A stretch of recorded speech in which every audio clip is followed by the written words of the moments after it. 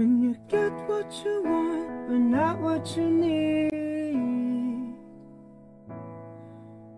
When you feel so tight, but you can't sleep. Stuck in reverse.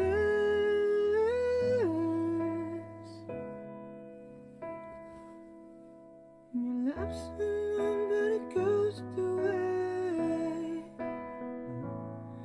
Could it be?